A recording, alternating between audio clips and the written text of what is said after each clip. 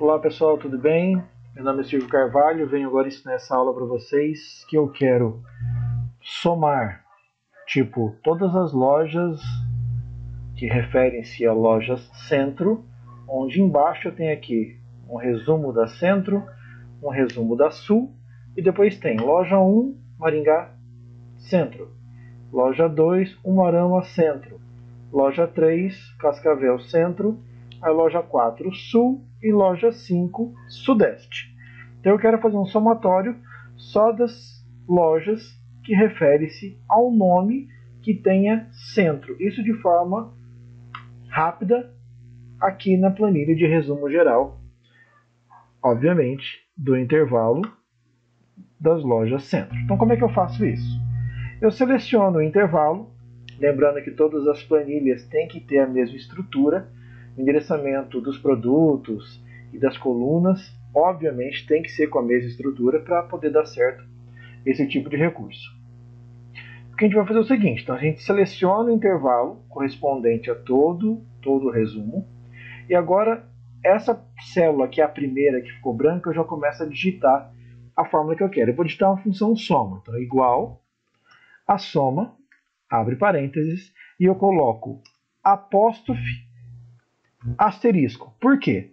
Porque aqui eu quero fazer uma busca de todos, todas as células e abas que tem a palavra centro. Então eu vou dar um espaço, porque se nós observarmos no nome das abas, tem um espaço antes do centro.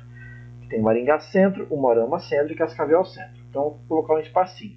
Então eu quero buscar as abas que têm o nome de centro, coloco apóstrofe fechando exclamação por determinar que é o nome das abas. E a célula que eu quero somar das outras planilhas é justamente onde eu estou aqui. Eu só não posso explicar porque eu já estou digitando em cima dela.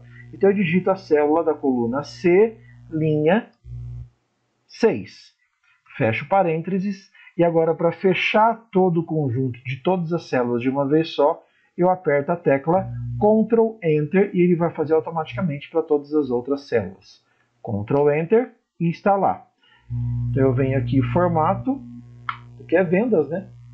Coloquei no separador de milhares 000. Se eu abrir agora essa célula e apertar F2 para expandir a função, olha lá.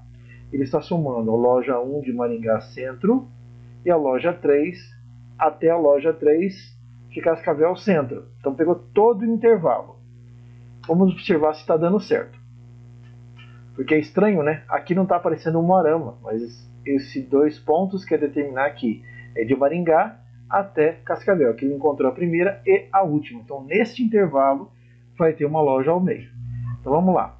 Está dando 15. Aqui em Maringá Centro, eu tenho número 1.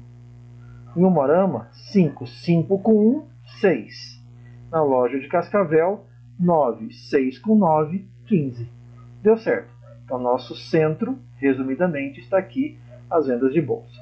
Vamos fazer novamente agora com a região sul. Lembrando que planilha com o nome sul só tem a loja 4, então tem que dar 13 o somatório que vai aparecer aqui no resumo das lojas sul. Então, de novo, eu seleciono todo o intervalo, já digito igual a função soma, aperto Tab ou abre parênteses e digito apóstrofe asterisco, espaço, su, fecho apóstrofe, fecho exclamação.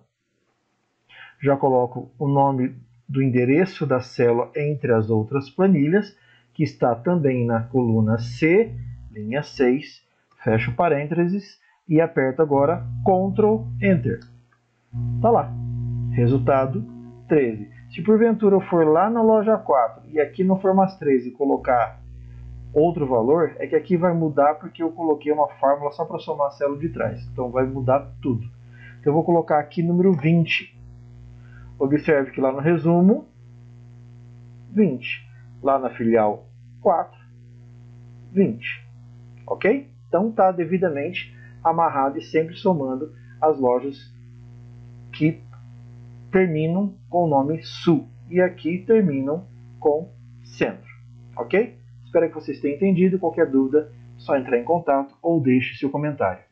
Não deixe de me seguir, faça as notificações habilitadas e inscrevam-se no meu canal. Obrigado a todos e até a próxima.